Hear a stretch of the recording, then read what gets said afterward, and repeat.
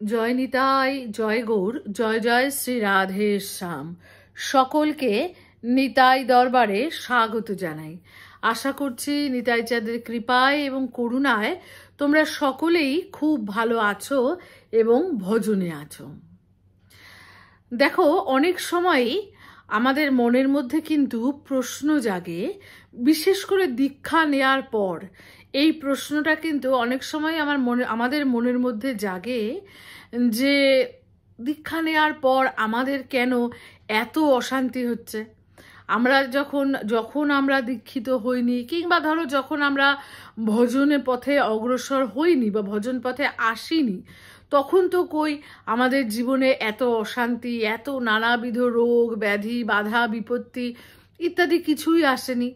কিন্তু দেখা যায় যে যখনই দীক্ষা নিলাম বা ভজন পথে ভজন করব বলে মনস্থির করলাম, এগোনোর চেষ্টা করছি, তখন যেন দেখা যায় যে দুনিয়ার রাজ্যের বাধা, বিপত্তি, নানান ধরনের রোগ, ব্যাধি ইত্যাদি নানান কিছু এসে আমাদের যেন পথ আটকে দাঁড়ায়।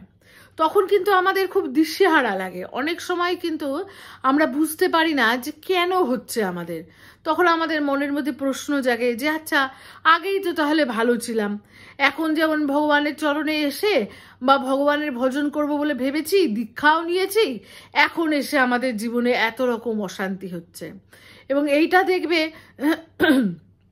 যখন তুমি কোনো ভজন সংক্রান্ত সংকল্প নাও, ধরো তুমি সংকল্প নিয়েছো যে তুমি চাতুর্মাস্য করবে, কিংবা ধরো তুমি সংকল্প নিয়েছো যে তুমি নিয়ম সেবাব্রত পালন করবে বা নিয়ম সেবাব্রততে এরকম করবে।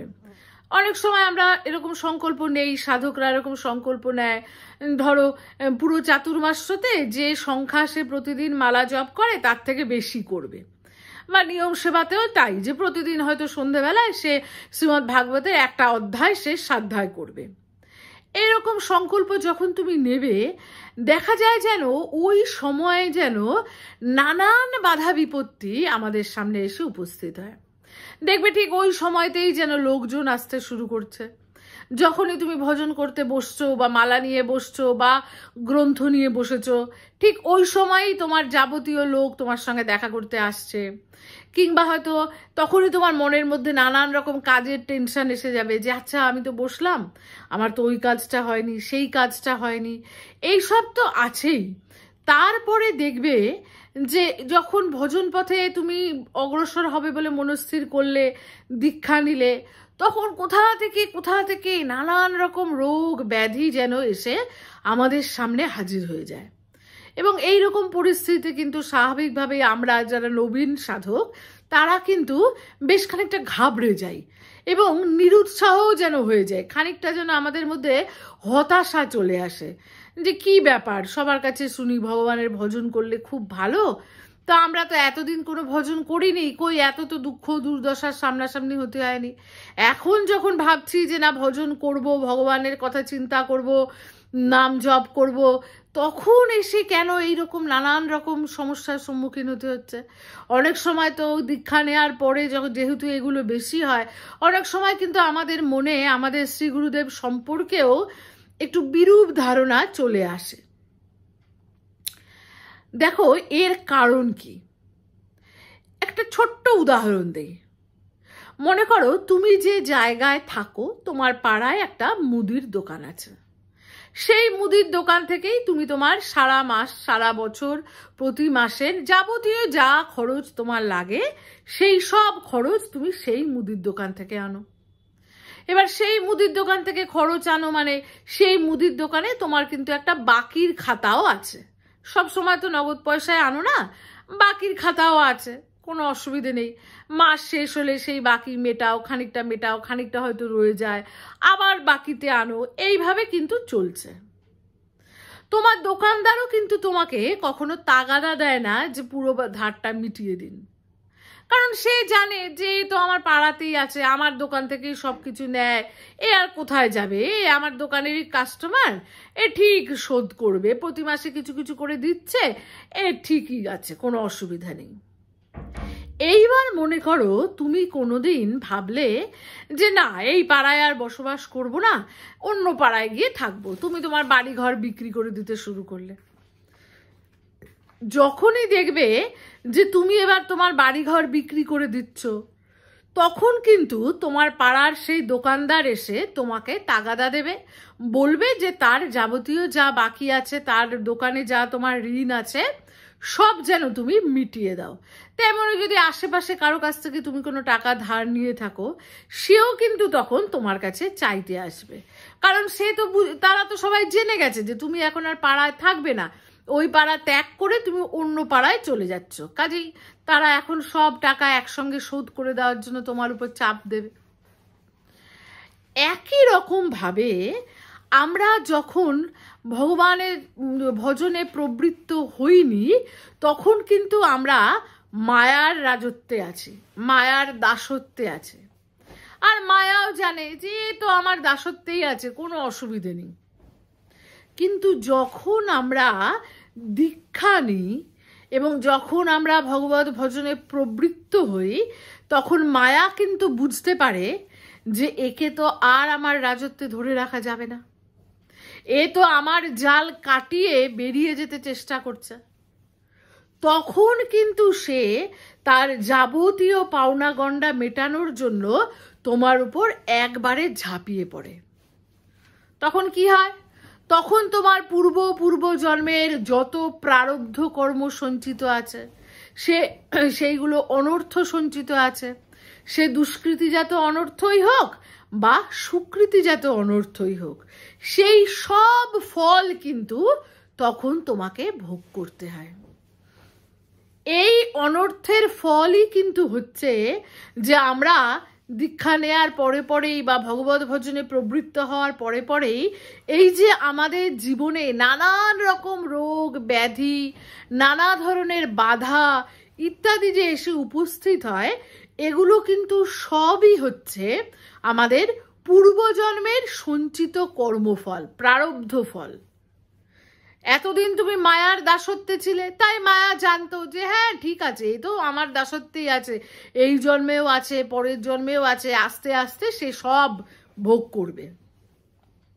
কিন্তু যখনই তুমি ভগবত ভজনে প্রবৃত্ত হচ্ছ, তখনই কিন্তু মায়া বুঝতে পারছে যে এ তো আমার জাল কাটিয়ে বেরিয়ে যাচ্ছে, অতএব এখন একসঙ্গে সমস্ত কর্মের ফল ভোগ করতে হবে। তাহলে দেখো এই জন্য এই সব ঘটনায় কিন্তু নিরাশ হয়ে যাওয়ার কিচ্ছু নেই। এই সব ঘটনায় কিন্তু দুঃখিত হওয়ার বা ভয় পাওয়ার মতোও কিছু নয়।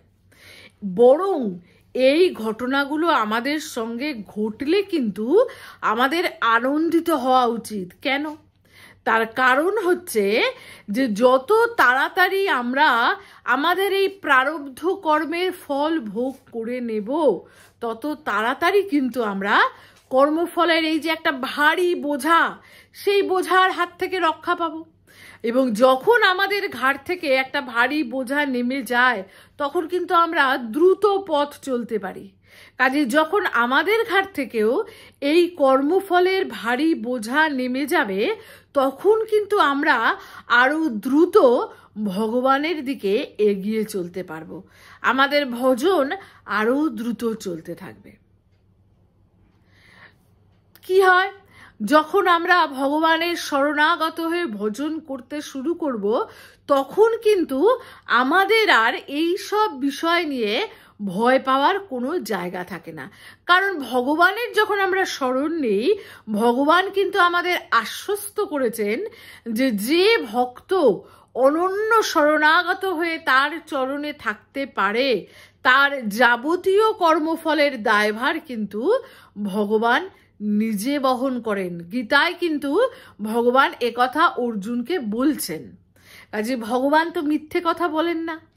কাজেই যখনই আমরা ভগবানের চরণে শরণাগত হতে পারব, তখন কিন্তু এই সমস্ত কর্মফল ভগবান নিজে উপযুক্ত উপযাচক হয়ে আমাদের এই যাবতীয় কর্মফল কাটিয়ে দেন। কাজেই আমাদের কিন্তু অবশ্যই আমরা যেন হতাশ না হই, নিরাশ হওয়ার কিন্তু আমাদের কোনোই কারণ নেই। সেই সময় বরং আমাদের নিজের মনে নিজেকে প্রশ্ন করা দরকার। যেই ভক্তি মার্গে চলতে গিয়ে আমরা কতদূর অগ্রসর হয়েছি, এটাও কিন্তু আমাদের একটা জানার বিষয়বস্তু। এবং সেটা কিন্তু, তার কিন্তু বেশ কিছু লক্ষণ আছে। যে আমরা আদৌ আমাদের এই ভক্তি মার্গে, আমাদের এই ভজন মার্গে এগোতে পারছি কিনা এগোচ্ছি কি না আমার নৌকো এগোচ্ছে? না একই জায়গায় দাঁড়িয়ে আছে, নাকি আরও পিছিয়ে যাচ্ছে? এটা কিন্তু আমরা খুব সহজেই বুঝতে পারব। কখন বুঝতে পারব? যখন আমরা নিজেকে প্রশ্ন করব। নিজের মনের মধ্যে যখন আমরা উকি দিয়ে দেখব।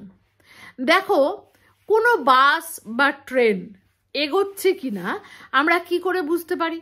সে বাসের ভেতরে বসে থাকলে বা ট্রেনের ভেতরে বসে থাকলে কিন্তু তাদের গতি বোঝা যায় না। কিন্তু আমরা বুঝি কি করে যে ট্রেনটা এগোচ্ছে বা বাসটা এগোচ্ছে? কারণ আমরা যখন জানালা দিয়ে তাকাই, তখন কিন্তু পাশের যে দৃশ্যাবলী, সেই দৃশ্যাবলী ক্রমাগত পাল্টে যেতে থাকে। একটার পর একটা নতুন দৃশ্যাবলী আসতে থাকে। তাই দেখে আমরা বুঝি যে বাস এগোচ্ছে বা ট্রেন এগোচ্ছে। কিন্তু যদি দেখা যায় যে বেশ কিছুক্ষণ সময় ধরে জানালার বাইরের দৃশ্যের কোনো পরিবর্তন হয়নি, তখন কিন্তু আমরা বুঝতে পারি যে বাস বা ট্রেন কিন্তু একটুও এগোচ্ছে না, থেমে আছে।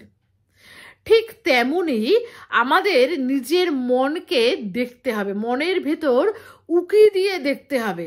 মনকে প্রশ্ন করতে হবে। যদি দেখি যে দীক্ষা নেয়ার পরে নাম জপ করছি, মন্ত্র স্মরণ করছি, জপ তপ সবই করছি, কিন্তু তারপরেও যদি দেখি যে আমাদের মনের ভেতরে তো আমাদের স্ত্রী, পুত্র, পরিবার ইত্যাদি জাগতিক বিষয়ে, জাগতিক সম্পর্কের প্রতি আমাদের মনে একই রকম মায়া রয়ে গেছে, একই রকম আসক্তি রয়ে গেছে, তাহলে কিন্তু বুঝতে হবে যে আমাদের নৌকো কিন্তু এগোচ্ছে না।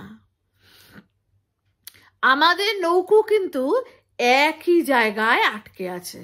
তাই ভজন যদি কমও হয়, তবু কিন্তু আমাদের মনের মধ্যে দেখতে হবে নিরাশক্তি জাগছে কিনা, বৈরাগ্য জাগছে কিনা অনুরাগের বিপরীত হচ্ছে বৈরাগ বা বৈরাগ্য বা বিরাগ, যাকে বলি বাংলায়।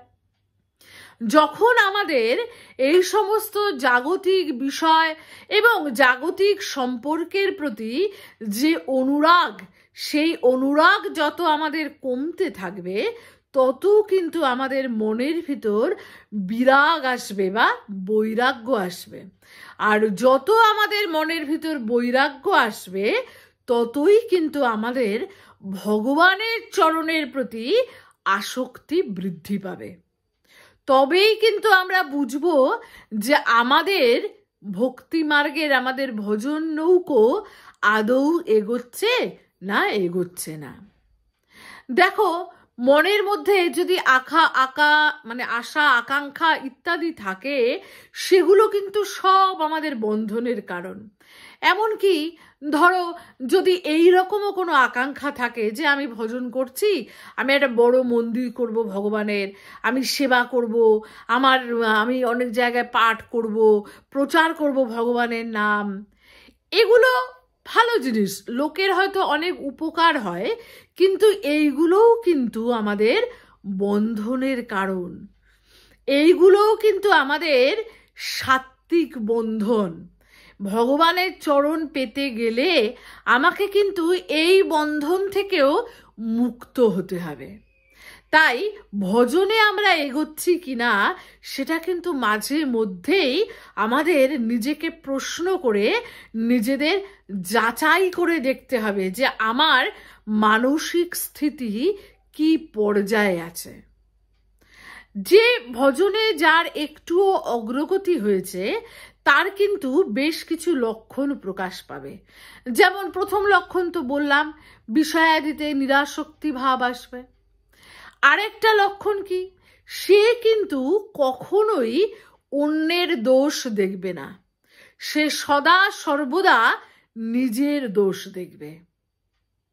ভজন যখন আমরা করি না, যখন আমাদের ভজন জীবন শুরু হয় না, আমরা কিন্তু যে কোনো বিষয়ে সহজেই অন্যের দোষ দেখি, অন্যকে দোষারোপ করি। আমরা ভুলেই যাই যে যখন আমরা অন্যের দিকে একটা আঙুল তুলছি, বাকি তিনটি আঙুল কিন্তু আমার দিকে থাকছে। বাকি তিনটি আঙুল কিন্তু আমাকে সবসময়ই এই কথা বলছে যে তুমি যাকে দোষ দিচ্ছ, তার থেকে তুমি নিজে তিনগুণ দোষী। এটা কিন্তু আমরা সাধারণভাবে বুঝতে পারি না, বোঝার চেষ্টাও করি না। কিন্তু যখন কোনো সাধক ভজন মার্গে একটু অগ্রসর হন, তখন কিন্তু তার মন থেকে ধীরে ধীরে অহংকার বিলুপ্ত হয়ে যায়। এবং যত তার মন থেকে অহংকার বিলুপ্ত হতে থাকবে, ততই কিন্তু সে বিভিন্ন বিষয়ে নিজের দোষ দেখবে। সেই সাধক তখন ক্রমাগত নিজের দোষ দেখবে, সব ব্যাপারেই দেখবে যে আমি তো একেবারেই অযোগ্য। সে সর্বদা ভগবানের চরণে প্রার্থনা করবে যে, হে রাধে, হে নিতাই চাঁদ আমার তো কিছুই নেই, আমি তো শত দোষে দোষী। আমার নিজের চেষ্টার ফলে আমি তো এই দোষ থেকে মুক্ত হতে পারব না। তাই তুমি কৃপা করো কৃপা করে আমার মনকে পরিশুদ্ধ করো। তুমি কৃপা করে আমাকে সেই বিশুদ্ধ মন দাও যাতে আমি তোমার নাম করতে পারি, আমি তোমার ভজন করতে পারি। আর ভগবান কিন্তু আমাদের মনের প্রবৃত্তি দেখেন। যখন আমরা, আমাদের মন ভজনের প্রতি সত্যি একনিষ্ঠ হয়, যখন আমার মন সত্যিই ভগবত চরণ লাভ করতে ইচ্ছুক হয়, ভগবান কিন্তু তখন তার যাবতীয় দোষ নিজে কাটিয়ে নেওয়ার চেষ্টা করেন। যাবতীয় দোষ নিজেই কাটিয়ে নেন। তাহলে এটা হচ্ছে একটা লক্ষণ। যে ভক্ত বা সাধক তখন কিন্তু সব ব্যাপারেই নিজের দোষ দেখেন। আরেকটা লক্ষণ কি? আরেকটা লক্ষণ হচ্ছে তার কিন্তু মনের ভিতর প্রবল জ্বলন তৈরি হয়। তার মনের মধ্যে অনুশোচনার জ্বালা তীব্রতম হতে থাকে। সে তখন সদা সর্বদা ভাবে যে, হায়, আমি এত দোষ করেছি, আমি এত অপরাধ করেছি, আমার মনের ভিতর এত ময়লা, আমি এখন কি করব। আমি কি করে এই জ্বলনের হাত থেকে, আমি কি করে এই জলার হাত থেকে রক্ষা পাবো আমি কি করে আমার মনকে পরিশুদ্ধ করব। এই জ্বালা তার অন্তর্মনে ক্রমাগত তাকে দহন করতে থাকে এই অন্তর্জালা তাকে কোথাও স্থির হতে দেয় না। এই অন্তর্জালায় সে সদা সর্বদা জ্বলতে থাকে এবং তখন সে সমানে ভগবানের চরণে কাঁদতে থাকে এবং কাঁদতে কাঁদতে প্রার্থনা করে যাতে ভগবান কৃপা করে তাকে বিশুদ্ধ মন দেন। ব্রজভূমিতে এক সাধক ছিলেন যিনি সদা সর্বদা নিজের সঙ্গে একটি কাটারি রাখতেন। কেন কাটারি রাখতেন? কারণ তিনি প্রতিজ্ঞা করেছিলেন যে যদি কখনো কোনো কারণে তার ব্যবহারের দ্বারা কেউ মনে দুঃখ পায়, তার আচরণের দ্বারা কারও মনে দুঃখ হয়, তিনি যদি কখনো ভগবত বিমুখ আচরণ করেন, তিনি সঙ্গে সঙ্গে নিজের প্রাণ এই কাটারির দ্বারাই ত্যাগ করবেন। আত্মহত্যা করে ফেলবেন। সাধকের তখন এই অবস্থা হয়। সাধক তখন তার প্রতিটি অপরাধের জন্য নিজেকে শাস্তি দিতে চায়।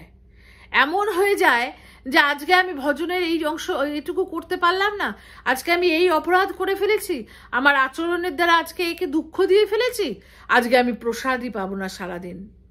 এইভাবে তার মনের জ্বালা কিন্তু তাকে নিজেকে শোধরানোর জন্য শাস্তি দেওয়া হয়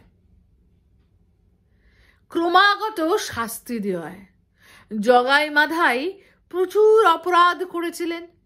প্রচুর অপরাধ করার পর সর্বশেষ অপরাধ কি করলেন? নিতাই চাঁদকে প্রহার করলেন। নিতাই চাঁদকে প্রহার করার পর মহাপ্রভু তো খুব রেগে গেলেন।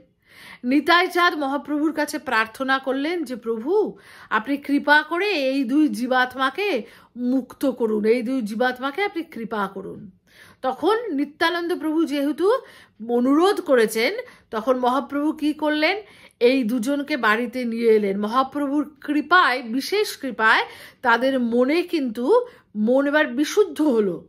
মহাপ্রভু বললেন যে, তোমরা যদি প্রতিজ্ঞা করো যে, তোমরা পূর্ব পূর্ব জন্মে যে অপরাধ করে এসেছ, আর সেই সব অপরাধ করবে না, তাহলে তোমাদের সমস্ত অপরাধের দায় আমি নেব।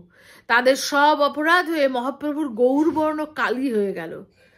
এবারে দেখো, ভগবানের কৃপা কিন্তু তারা পেয়ে গেলেন। তা সত্ত্বেও কিন্তু তারা তখন আনন্দে অধীর হয়ে ওঠেননি। তাদের মনে কিন্তু তখন প্রবল জ্বলন তৈরি হয়ে গেল। তাদের মনে প্রবল অনুশোচনা আগুনের মতো জ্বলতে শুরু করল। তারা সমানে সেই জ্বালায় কষ্ট পাচ্ছেন। তারা নিতাই চাঁদের চরণ ধরে পড়লেন যে, প্রভু, রক্ষা করুন। আমাদের এই জ্বালা, এই যে আমাদের প্রবল অনুতাপের জ্বালা, এ কি করলে যাবে তা আমাদেরকে কৃপা করে বলুন। তখন নিতাই চাঁদ বললেন যে, বেশ, তোমরা দুজনে মিলে গঙ্গায় একটি ঘাট বানাও। সেই ঘাটে যত পুণ্যার্থী যাত্রীরা আসবেন সেই ঘাটে স্নান করতে এবং নৌকা করে যত যাত্রী এই ঘাটে নামবেন, তাদের প্রত্যেকের কাছে তোমরা হাত জোর করে ক্ষমা চাইবে এবং তাদের প্রত্যেকের চরণধুলি তোমরা সারা অঙ্গে মাখবে। এবং তখন কিন্তু জগাই মাধাই ঘাট তৈরি করল। সেই ঘাট কিন্তু আজও আছে, কাটোয়ার কাছে মাধাই ঘাট নামে। এবং যত যাত্রীরা আসতো, পুণ্যার্থীরা আসতো তারা দুজন কি করতেন? তাদের সবার কাছে হাত জোর করে ক্ষমা চাইতেন এবং তাদের সকলের পদধূলি অঙ্গে মাখতেন। এইভাবে কিন্তু তাদের কৃপায় তারা বিশিষ্ট ভক্ততে পরিণত হলেন। তাই সাধকের মনে কিন্তু এই জ্বলন প্রচণ্ড হবে। আর সাধক কিন্তু তখন কায় মনোবাক্যে জীবকে কষ্ট দেওয়ার কথা চিন্তাও করতে পারবে না।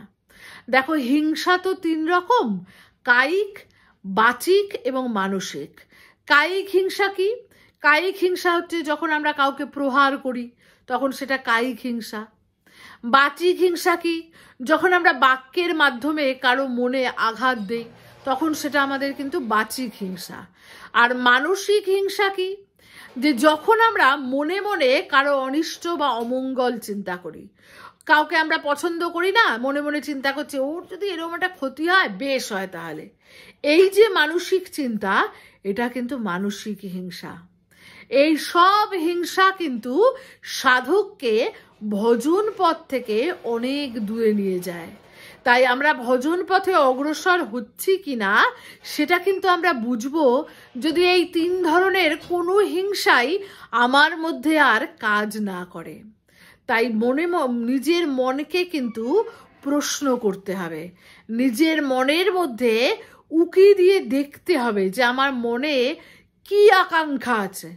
আমার মানসিক স্থিতি এখন কি আছে? ভগবানের চরণ ভিন্ন, আমার অন্য কোনো জাগতিক জিনিসের প্রতি লোভ আছে কিনা? আমি সবসময় নিজের দোষ দেখছি? নাকি আমি সর্বদা অন্যের দোষ দেখছি। এই জিনিসগুলো কিন্তু নিজের মনকে জিজ্ঞাসা করতে হবে, নিজের মনের স্থিতিকে চিনতে হবে। তো, এবং যখনই দেখব যে সর্বদা নিজের মনের ভিতর নিজের দোষ অনুসন্ধান করতে হবে, এবং যখনই কোনো দোষ আমরা দেখতে পাবো অবশ্যই দোষ দেখতে পাবো, কারণ মানুষ যতক্ষণ জীব চৈতন্য গ্রন্থি না খোলে, যতক্ষণ ভগবত প্রাপ্তি না হয়, ততক্ষণ কিন্তু আমরা নানা অপরাধ, নানা দোষ করতে থাকি। এবার আমাদের কাজ কি? সেই দোষগুলোকে ক্রমাগত চেনা এবং সেগুলো যেন আর না করি, সেই ব্যাপারে যত্নবান হওয়া। এবং সেই জন্য কিন্তু গুরুচরণে, ভগবত চরণে সমানে প্রার্থনা করতে হবে। শরণাগত হয়ে থাকতে হবে গুরুচরণে এবং গুরুচরণে ক্রমাগত প্রার্থনা করতে হবে যেন শ্রী গুরুদেব কৃপা করে আমাদের মনকে পরিশুদ্ধ করে দেন। এই হচ্ছে আজকের আলোচনা। যদি এই আলোচনা তোমাদের একটুও ভালো লেগে থাকে তাহলে অবশ্যই কিন্তু ভিডিওটা লাইক করো। কেমন লাগল আলোচনা সেটা কিন্তু কমেন্ট বক্সে আমাকে জানিও। এবং যারা আজকে নতুন দেখছ নিতাই দরবার, তারা অবশ্যই নিতাই দরবার সাবস্ক্রাইব করে আমার পাশে থেকো। জয় নিতাই, জয় গৌর, জয় জয় শ্রী রাধে শ্যাম।